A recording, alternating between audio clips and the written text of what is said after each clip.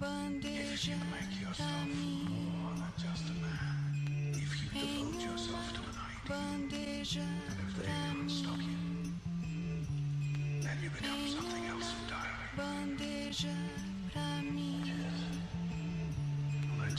Hello there, ladies and gentlemen. My name is Mildra, and I will be your gaming monk for the evening. Let's talk about mecha. From the heavier tank-like affairs to the more sleek, powered armor, these mechanical titans have been an enduring fixture in popular culture. Naturally, that footprint would veer them into role-playing games. From the enjoyable but heavily frustrating Robotech, fuck you Harmony Gold, the pioneering Mekton Zeta, to the myriad of independent works. One of those independent works is Giant Guardian Generation, a byproduct of TG doing what TG does best getting things done. GGG draws heavily from the long running Super Robot Wars series of strategy RPGs. Battle Century G, our subject today, is a successor of this, taking out the material that had come from the SRW series and releasing it as a standalone. While this is hardly the first RPG I've covered involving giant robots, this is the first one that doesn't necessarily have a baked in setting. How does it hold up?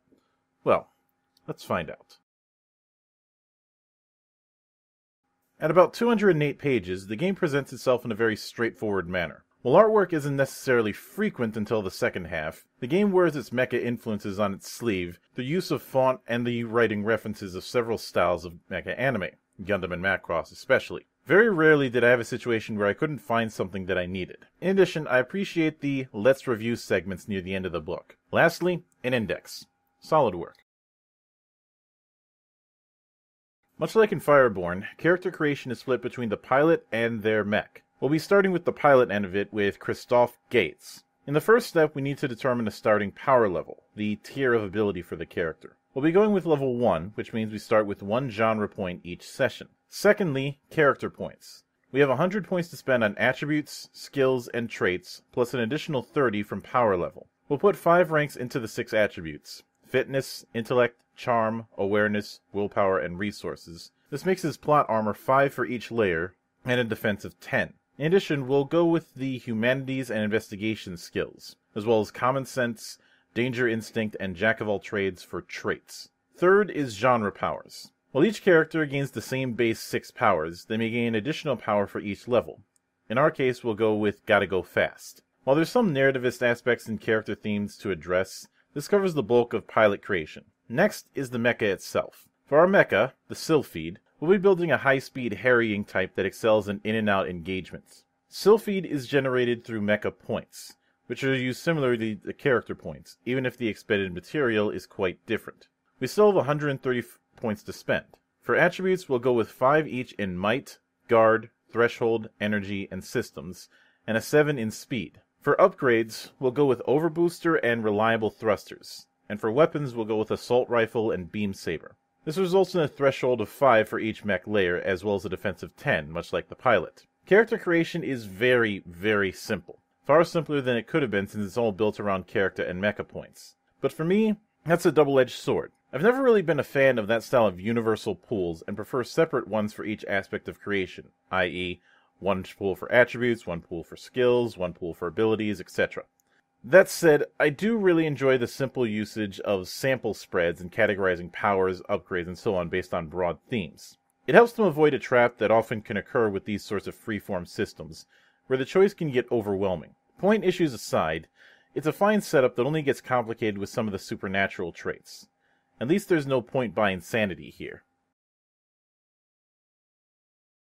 Battle Century G uses a D10 system, essentially D10 plus modifiers versus a target number. Sometimes a roll might have advantage or disadvantage, in which case you roll an extra D10 and take the higher or lower respectively. Unlike similar games that use that mechanic, both sides can stack, essentially making it more akin to the boons and banes that Shadow of the Demon Lord uses rather than advantage and disadvantage in D&D 5th. One of the most common ways to gain either is in skills, which typically add 1. Oddly, this applies to specialist versions of a skill as well, likely to offset the fact that specialization skills only cost 5 CP instead of 10.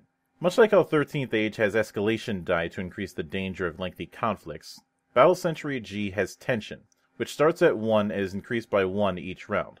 This tension acts as a bonus to tests made to harm. When it comes to damage, characters in Mecha have a layered system, but it works slightly differently for each. For pilots, whenever they lose a layer, they must roll a willpower check based on that layer. Failing that roll results in instant defeat. In the case of mecha, that mech suffers a maim. The target rolls a d10 to determine who chooses which area is going to be maimed, odd for defenders and even for attackers, but regardless, the maimed area has any attached weapons and upgrades disabled. While this might indicate high lethality, it doesn't come across as much due to the fact that weapons don't have a set damage. Damage is purely based on the difference between attack roll plus tension and the target's defense. Ultimately, it makes time the more dangerous factor in combat. The only part I've seen contention with is the zone system. Unlike the battle zones in Unchained Heroes, the zones here seem to be akin to a grid or hex, but not entirely. That'd be fine if they put in some sort of sidebar for Theater of the Mind style engagements, but there isn't, at least not to the same degree. That said, I do appreciate that the game makes the pilot matter. After all, two different pilot builds might use the same mecha differently due to their usage of traits and powers. The map thing is the one aspect I could see getting house ruled, as well as possibly some cap on threshold so things don't get too ridiculous in a longer encounter. Because of Battle Century G's customization, it's easy to compare it to Mekton Zeta, even if it's not entirely fair. As much as I like that one, and it will get covered eventually, I won't deny that Mekton can be very intimidating with the amount of points to customize.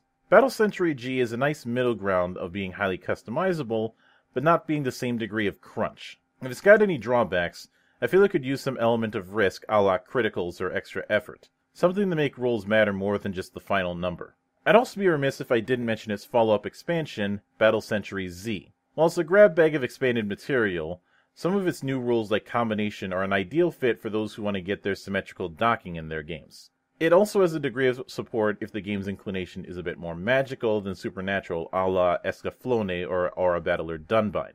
Bottom line, this is a game that is wholly in pursuit of exploring its mecha influences, and because of that, I can give it a stamp of strongly recommended. I would add a caveat that if you get the game, I'd recommend getting both Battle Century G and Z together in order to expand your potential beyond the Gundam-esque experience. However, if you're into more grounded mecha, this entry probably won't be for you. Personally, I would be very willing to run this with a bit of house ruling in order to fit my style. After all, we all dig giant robots. Stay frosty.